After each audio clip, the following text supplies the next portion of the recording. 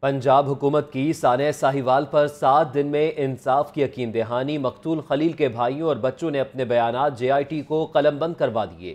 معطل، S S P, C T D, Jawad Qamar بھی شامل تفتیش ہو گئے۔ فیاض ملک کی رپورٹ دیکھیے۔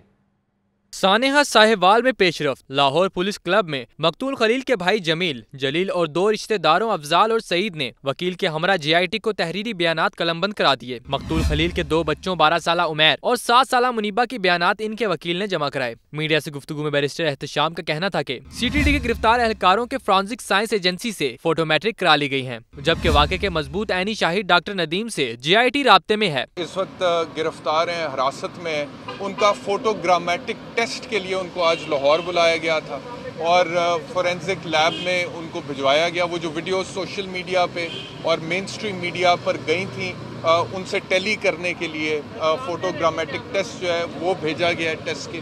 اور جو ویپنز ہیں، تقریباً سات کے قریب ویپنز ریکور ہوئے ہیں، وہ بھی لیب میں بھجوا دیے گئے۔ اور منڈے تک جو ہیڈ ہیں جی آئی ٹی کے جاج شاہ صاحب، انہوں نے کہا ہے کہ ان کی رپورٹس آ سی ٹی ڈی کے معطل ایس ایس پی جواد کمر بھی جی آئی ٹی کو اپنا بیان ریکارڈ کروا چکے ہیں۔ پیر تک اسلحے اور واقعے میں ملوث اہلکاروں کی فوٹو میٹرک رپورٹ بھی آ جائے گی۔ بیرسٹر احتشام کا مزید کہنا تھا کہ اگر سات روز میں انصاف نہ ملا تو عدالت کا دروازہ کھٹکھٹائیں گے۔ کیمرہ مین اکرام شاہ اور ساتھی رپورٹر شاہزیب بھٹی کے ساتھ۔ فیاض ملک، لاہور نیوز۔